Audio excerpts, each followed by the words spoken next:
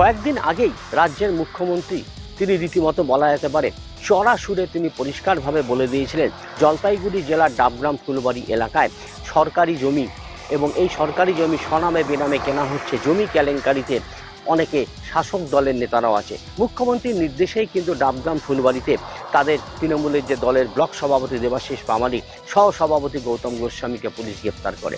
তাদের বিরুদ্ধে সরকারি জমি বিভিন্নভাবে তারা বিভিন্ন অছিলায় যে হাতিয়ে নেওয়ার যে অভিযোগ তারা ছিল। বর্তমানে তারা কিন্তু জেল হেফাজতে রয়েছেন। তৃণমূল অবশ্যই দুজনকে দল থেকে বহিষ্কার করেছে। মুখ্যমন্ত্রীর এই সোচ্চার হওয়ার পর থেকে ডাবগ্রাম ফুলবাড়ি থেকে শুরু হয় জেলা প্রশাসনের সরকারি জমি পুনরুদ্ধারের কাজ।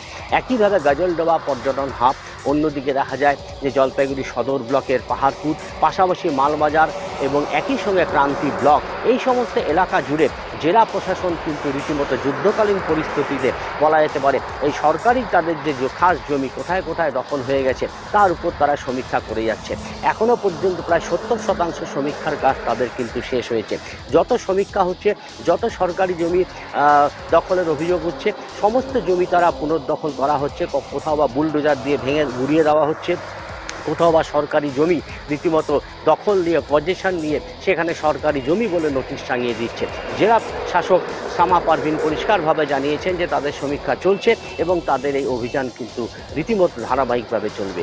ক্যামেরায় পার্থ চৌধুরীর সঙ্গে প্রদীপ সরকার, নিউজ টাইম।